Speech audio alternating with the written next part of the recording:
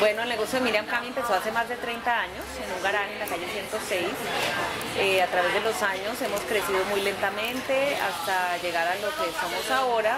Somos una, no cadena, pero sí un grupo de siete sucursales solo dentro de Bogotá, cada una con una personalidad y un manejo un poquito diferente.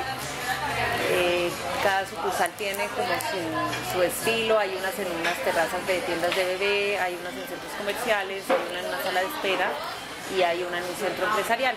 Eh, aquí en la sucursal de la calle 81 es donde actualmente producimos todas nuestras tortas y postres, eh, pero a principios del próximo año vamos a mudarnos a una planta un poquito más grande.